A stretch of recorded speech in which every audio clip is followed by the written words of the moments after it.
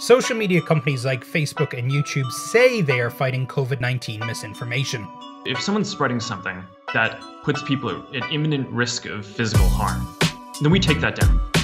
For the world at large, normalcy only returns when we've largely vaccinated the entire global population. The entire global population. The economy is not going to be anything like uh, it was. It's going to take a long time to recover. It's going to be, you know, people. So are you familiar with uh, the Microsoft Press Computer Dictionary? No. You never cracked open before? No. what makes me uncomfortable is that children die.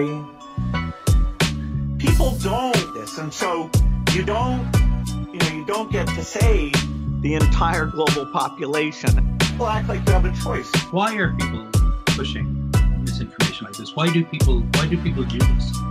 So some people push misinformation to make money. The eventual end comes when we get a vaccine that protects all of us, not just in the US and the entire world. And we need to make sure that gets out to everyone in the world. That's right. Nilipopeleka sample ya papai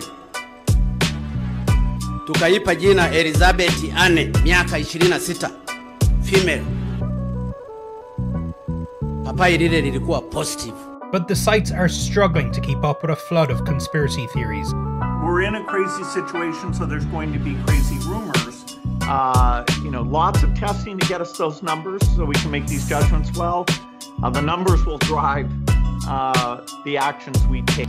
Well, I believe that uh, the data is is going to be key. I hope. But for the world at large, you know, trying to achieve that ambitious goal, which has never been done.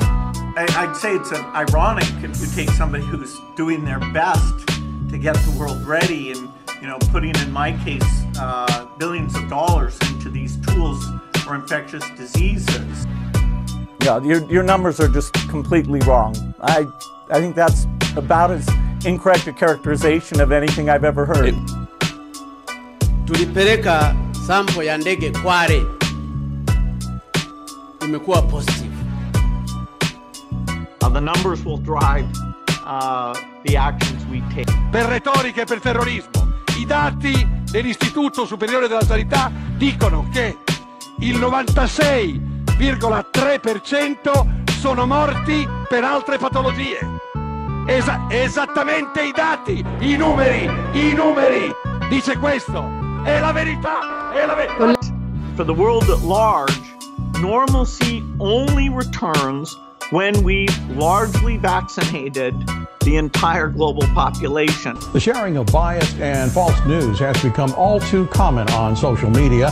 More alarming, some media outlets publish these same fake stories without checking facts first. The sharing of biased and false, false news has, has become, become, all too common on, on social, social media. media. More alarming, some media outlets